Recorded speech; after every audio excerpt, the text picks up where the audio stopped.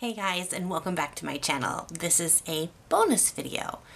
I love looking at small things. I find great inspiration in them.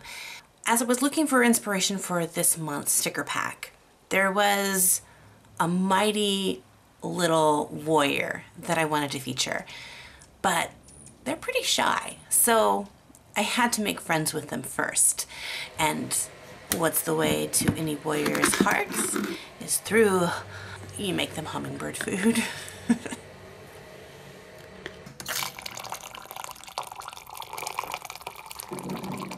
In the past, our hummingbirds have always been super feisty and overly protective of their hummingbird feeder. So we usually only have one or two hummingbirds. But for some reason that changed this year and we have so many hummingbirds. Like before, we would refill the hummingbird feeder maybe once or twice a week.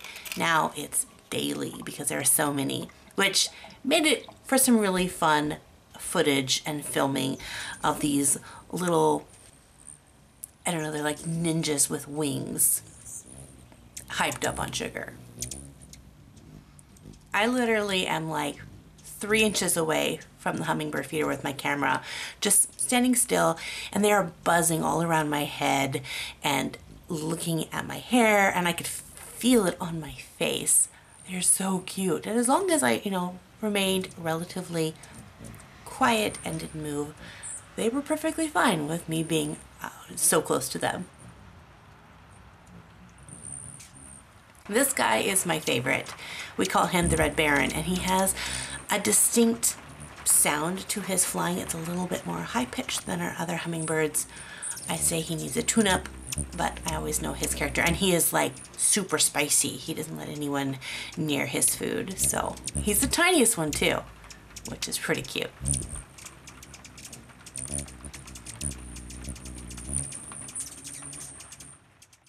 Now before I jumped into creating my actual stickers, I wanted to sketch out my hummingbirds. I actually did a video back in 2014 maybe maybe even earlier than that how to draw a hummingbird. So I go into a lot more detail in that. If you're wanting to be able to draw your own hummingbirds and I'll leave a link to that video at the end of this video pretty much the same setup. Just breaking things down into simple shapes really I figured out how to draw hummingbirds by watching the animator animated the hummingbird friend of Pocahontas in Disney's Pocahontas. I'd watch him draw it and that's how I learned. So just the little, the, the head is kind of what leads the hummingbird along. Now some hummingbirds are much smaller than others so their body shapes are going to be a little bit smaller, some are a little bit bigger, but they're all just so stinking adorably cute. When you get to the wings, there's a lot of variances you can do. Whether you want them to actually be perching, which I found is a rare thing that a hummingbird will actually sit and perch. I mean, I've seen it, but most often they like to be moving. But when they do perch, you kind of don't see the wings even like in the body. Maybe at the very tips you'll see them sticking out, but everything just folds down so perfectly. And then when they're flying, uh, even just giving action lines to how their wings are moving instead of going into the detail of it, um, sometimes I go with that. But I did a whole bunch of sketches and I thought I would have this done for the 1st of April, but April Fool's on me. There was a couple of things I wanted to fix on it and another additional design I wanted to add to the sticker pack before I jumped on. So I actually am a day late, but I think it was well worth it. Don't rush the process until you really, really like something. The other element that I wanted to include in the sticker pack was um, one of my favorite flowers, which is the cherry blossom. And we have a couple of cherry blossom trees that are near where I live, and three of them bloom really fast and they bloom really early so usually storms take their blossoms even before they're fully bloomed but we have this other tree that just looks dead almost the entire year except when it blooms and it just is beautiful. So I went and took some footage, rainy footage, but footage nonetheless. So with my inspiration in hand, went about sketching out my hummingbird sticker pack, which, you know, in the past I've done like cute marshmallow themes and I did corgis and I did fairies. So this is more of a flower bird combo.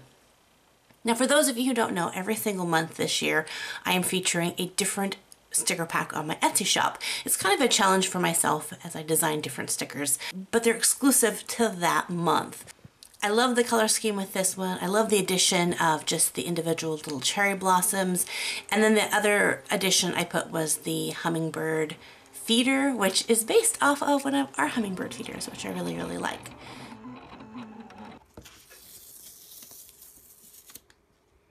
So here is the sticker pack. I hope you like it. I hope you enjoyed the footage of my hummingbirds. If you want information on getting the sticker pack or subscribing to my channel, anything like that, all the links are in the description box below. But thank you guys so much for hanging out with me. God bless you guys, and we'll see you in another art video. Bye!